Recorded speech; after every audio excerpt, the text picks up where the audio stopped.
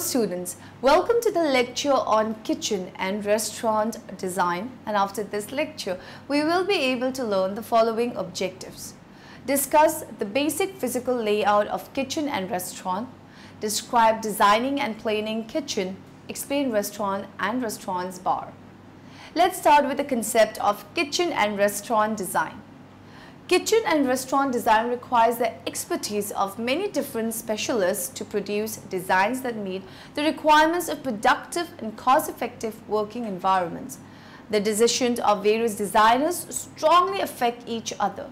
Owners and end users are important players in design process as well as cooking and ventilation equipment manufacturers. Due to the wide diversity of their expertise, a common understanding is needed to accelerate the process. An integrated design environment supports the entire design process, example visualization. Total objective is to produce design data in a form that designers can utilize in different applications. A restaurant is off to a great start when the details of the kitchen are the first thing addressed with the design team. A properly designed kitchen allows a restaurant to perform for the customer when the rubber hits the road meal time. Think of the kitchen as the engine under the hood of a performance car. This car, like a restaurant, will often be idle, but when it is time to perform, it must without hesitation or it will lose the race that is the customers. Kitchen design trends are among the slowest changing trends there are, due in no small part to the fact that kitchens are expensive, time consuming and invasive to redo. But there's been a gradual but major upheaval in kitchen design in the last few years and a major change in the way that designers look at the kitchen space. Let us now discuss about restaurants. A restaurant is defined as an establishment designed in whole or in part to accommodate the consumption of food and beverages. Every facet of restaurant design and layout is a product of the goals and concept of the business. The bigger the goals and concept, the more resources should go into design elements. The menu, clientele, and price point should all support the layout of the restaurant to create a single concept. Finally, design elements should support each other. No single element should stand out from the others without wanting to point customer in that direction.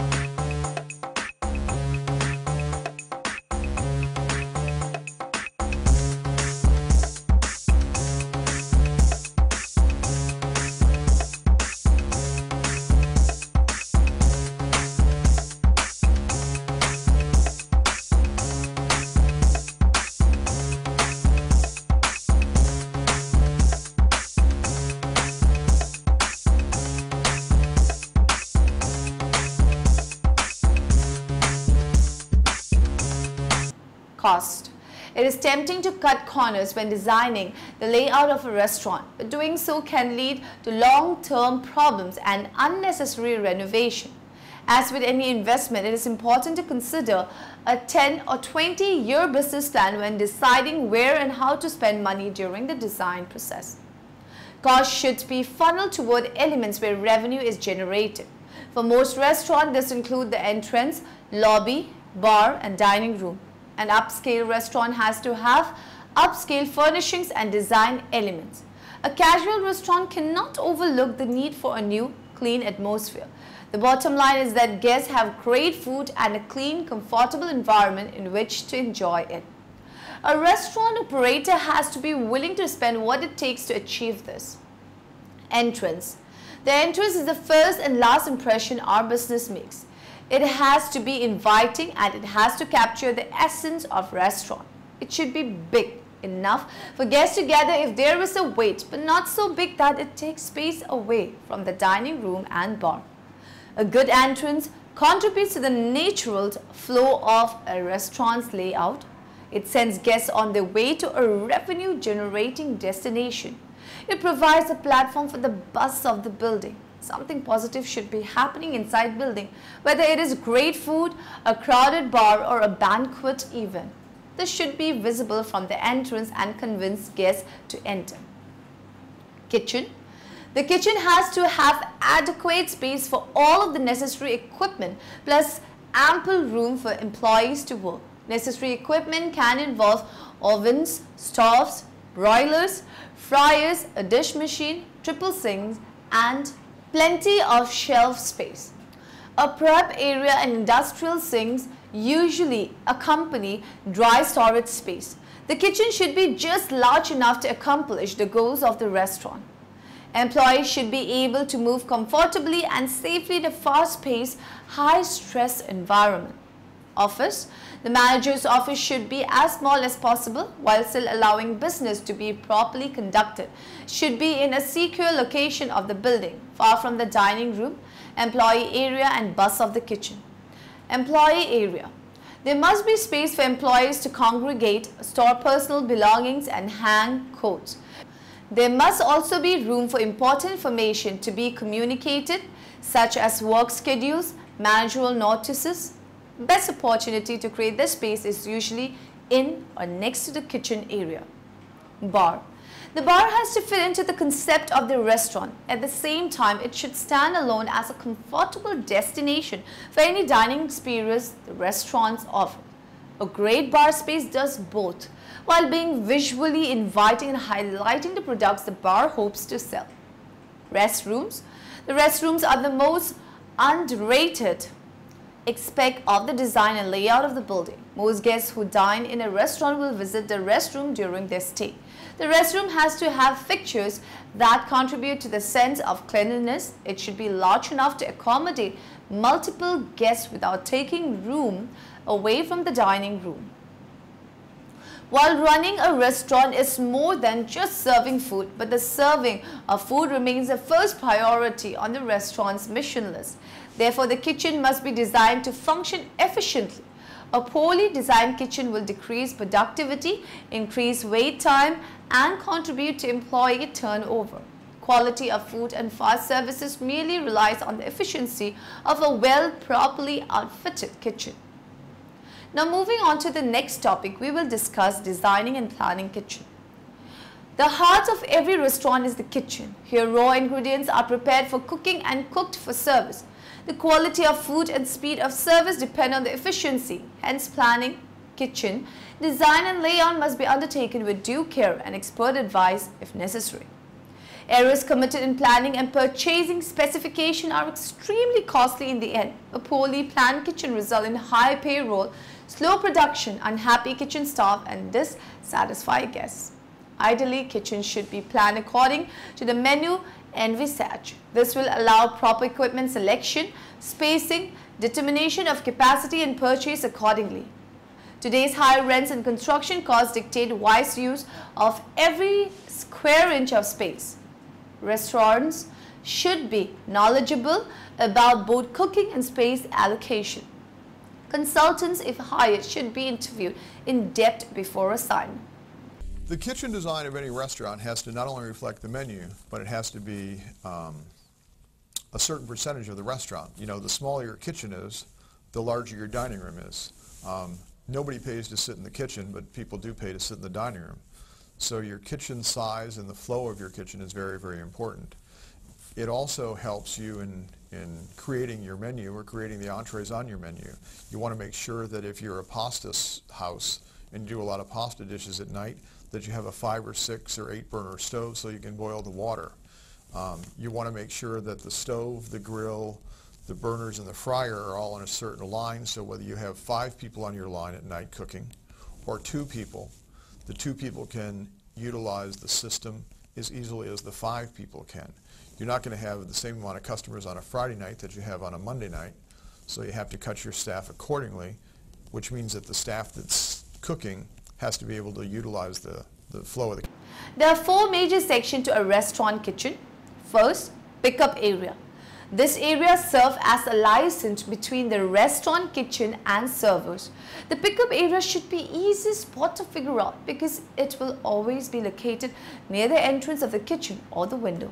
It is here we will need enough counter space to handle the orders of at least 10% of seating.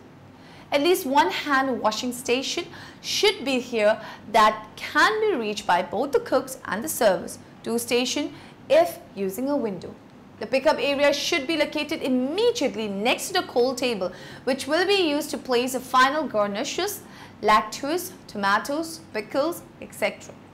Number 2. Grill area. This is the heart of the restaurant kitchen. The grill area includes the grill, fryer, cold table, a freezer unit, firmware and some counter space. It is here that the cook will be doing the most work. If restaurant's kitchen is spread out too far, it will either from best to worst slow down service, force us to raise manpower or cause poor quality output and frequent product loss. To avoid the grill area from being too spread out, layer each component spreading outwards within reach of the grill. Begin by mirroring the grill across from the cold table. A cold table will offer quick access to garnishes and other frequently needed products that need refrigeration. Underneath a cold table is a small refrigerator's worth of storage. This can be utilized for products such as raw meats which are used directly on the grill. By mirroring the cold table across from the grill, the cook is allowed quick access to moving both raw products from the cold table refrigerators to the grill and cooked products to the finishing area. In order for the cooks to actually move the food from the grill back to the pickup area, they are going to need plates. A good place for firmware plates is on shelves above cold table area. This would keep it as close to the grill as possible. Is a fryer within reach of grill. Second to the grill, the fryer is the most labor intensive piece of equipment in restaurant. Depending on the grill type, we may need to maintain a minimum distance between the fryer and and open flame source. This is a good place to have a small counter and a heat lamp just because we need a distance between the fryer and grill does not mean we cannot use that distance. Across from the fryer is a good location for a freezer unit. The purpose of this freezer is to store foods which will be used in the fryer. This will not be the main freezer unit. Some products such as French fries do not fixate on storing everything in one place by providing a smaller storage area and feeding that within reach we can restock between rushes without losing cooking time. There are several good freezers which can also double as countertops which can be used both for additional work areas as well as being a good place for other equipment we may use such as a toaster or hot storage devices. Number three is prepped area. Making a smooth transition out of the grill area and towards the prepped area, we find ourselves with only a few pieces of hardware left to place. The prepped area refrigerator will hold perishable goods that are frequently used during the prepped process. By keeping this near the grilled area, we can also hold some items that may not fit in the cold table area. Across the aisles from the stove is a prime location for the main prep counter. This counter would be within reach of the fridge, stove and future prep sink. Counter space is the most important area for a prep cook. Having a large area to work with tends to up productivity and lowers the risk of cross-contamination. And last, the fourth one, the storage area. The storage area is not strictly limited to one place. Everything does not have to be in one place. There should always be at least some of whatever product is needed next to where it is actually needed. Even if we do not have room to store entire weekly delivery within reach. That being said, there is one solid guideline to follow when it comes to main storage area. Keep it near where we take deliveries. Delivery trucks do not stop for us. Stocking takes labor and labor costs us money. The less time it takes for employees to put away deliveries, the more time they can spend on their main duties. Design main storage area near the back door. First decision involves selecting fuel. There are several from which to choose. Wood, natural gas, propane gas, electric, steam and heating oil. Wood and heating oil equipment are generally not used in kitchen except wood-fired pizza ovens since they require frequent cleaning and consume space. The most frequently used fuels are natural gas, electricity, steam and propane. The choice of fuel depends on location. In large cities, natural gas and electricity are widely available and a combination of both is wise. Some regions steams may be available and recommended for certain pieces of equipment. There are also steam generating units ready to install. Propane is recommended where neither gas or electricity is available, that is wilderness camps or resorts. Chinese chefs prefer propane for its extremely intense heat. If electricity and gas are available, equipment should be selected accordingly. This will allow production if one or the other fuel is temporarily unavailable. Countries' electricity supply may be disrupted frequently and gas pressure inadequate for commercial use. In such reasons, propane or butane cylinders are recommended. Once the fuel choices are made, utilities should be contacted to ensure for timely hookups with main supply lines and further planning can resume. Back of the house space including the kitchen varies with both the menu size and type of operation. There are no set rules or ratio. Repeat. There are no set rules or ratios for reference. However, in full-scale restaurant, 5 square feet per seat is a good guideline. Many convenience ingredients are used, kitchen space requirements will be less. For take-out operation, back-of-the-house requirements are considerably less than in standard restaurant. The first step in kitchen planning is a flow chart which allows eliminating bottlenecks both for service and production. During planning, the following criteria should be considered. Departmentalization to achieve division of labor, smooth traffic flow, increased efficiency, acceptable sanitary condition. Once these are settled, the following points become important. Lighting, ventilation, sprinkler system.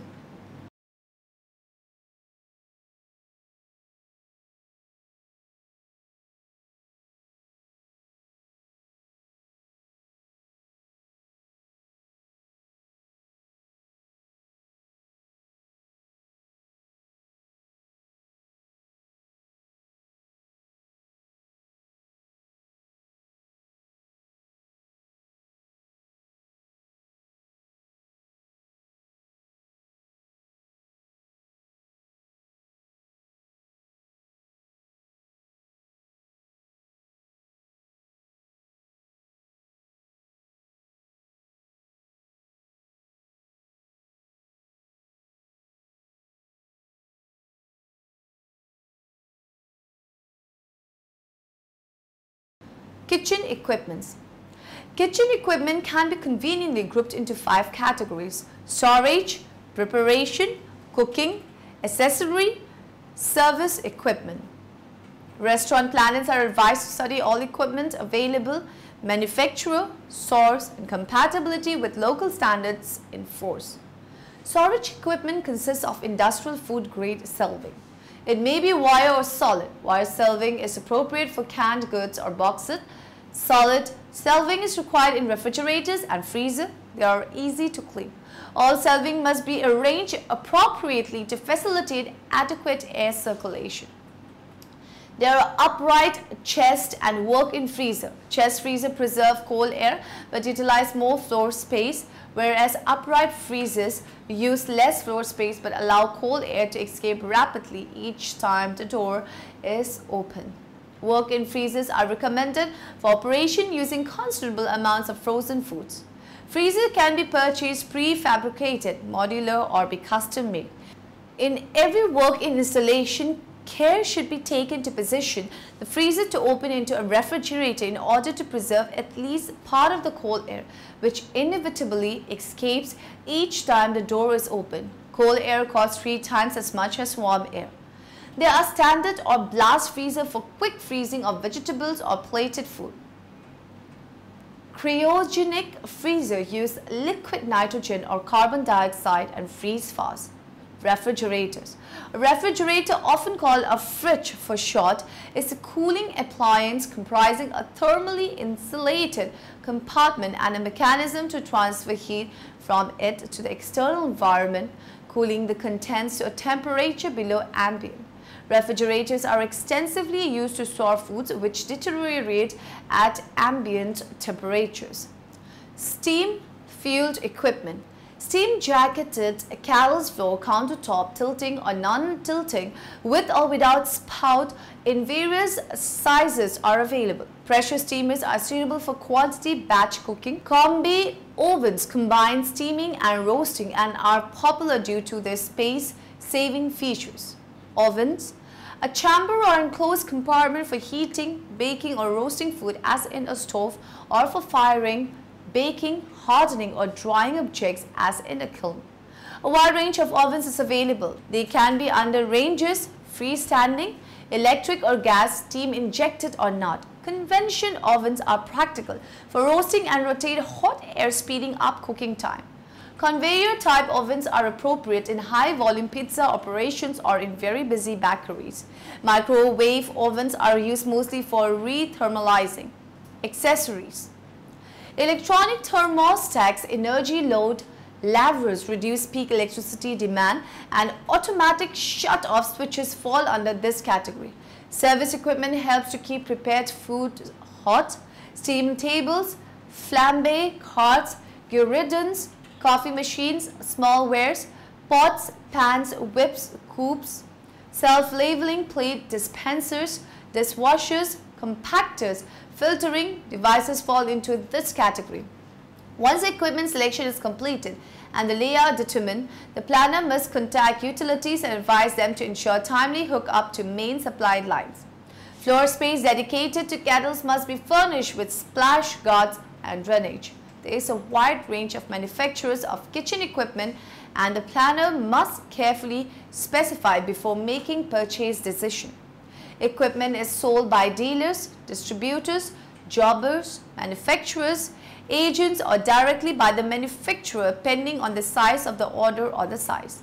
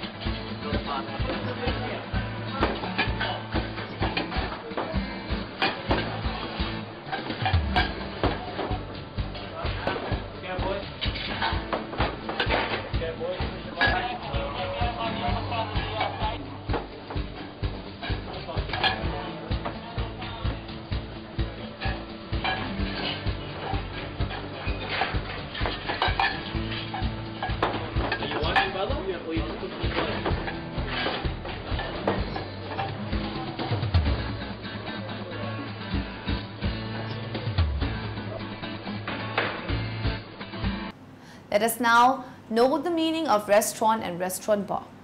Restaurant bar is the area of the hotel where alcoholic and non-alcoholic drinks are mixed and served. Typical location include a hotel lobby, inside the restaurant or poolside.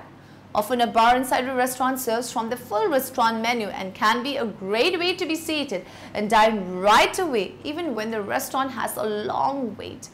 The restaurant and bar is one of the largest profit centers of all service operation and not surprisingly, it is a sector in which there is a lot of jostling going on between small, large-scale businesses to get more customers. Decor and ambience play a huge role in getting people through the door and the food is what keeps them returning or not. With that said, we tend to see the most instrumental and over-the-top investment put into creatively designing the interiors of some of the top metropolitan trendy restaurant bars. These efforts almost never go in vain because most of us love and will always pay for great design and an even grander experience. It is the single most important aspect of design that can make or break the success of a restaurant since it sets the ambience, capture eye-catching details and should enhance the visual presentation of the cuisine among other things like the menu, artwork and other guests. Let the restaurant bar double as a wait station. Make the bar as self-sufficient as possible outfit it with its own POS system so that the bartender can take care of customer taps right on the spot. An integrated POS also lets the bartender send food orders to the kitchen directly from the bar. Be wary of letting staff into the bar area even if it is to use a POS system during a rush. Bartenders are typically territorial creatures and do not like wait staff underfoot we may need to implement a rule that no wait staff is allowed behind a bar during the dinner shift. Set the mood with lighting. Lighting in the bar should be subtle. Not so dark customers cannot read the menu, but definitely not too bright. Recessed lighting and track lighting with dimmer switches allow us to control the light, adjusting it for the time of the day. Now in the end, let us summarize what we have learned in this lecture. The quality of food and fast services merely relies on the efficiency of a well properly outfitted kitchen. The heart of every restaurant is the kitchen. Refrigerators prevent bacterial growth and prolong the shelf life of perishable foods. The restaurant and bar is one of the largest profit centers of all service operators. A bar right at the entrance of a restaurant can do double duty as a waiting area.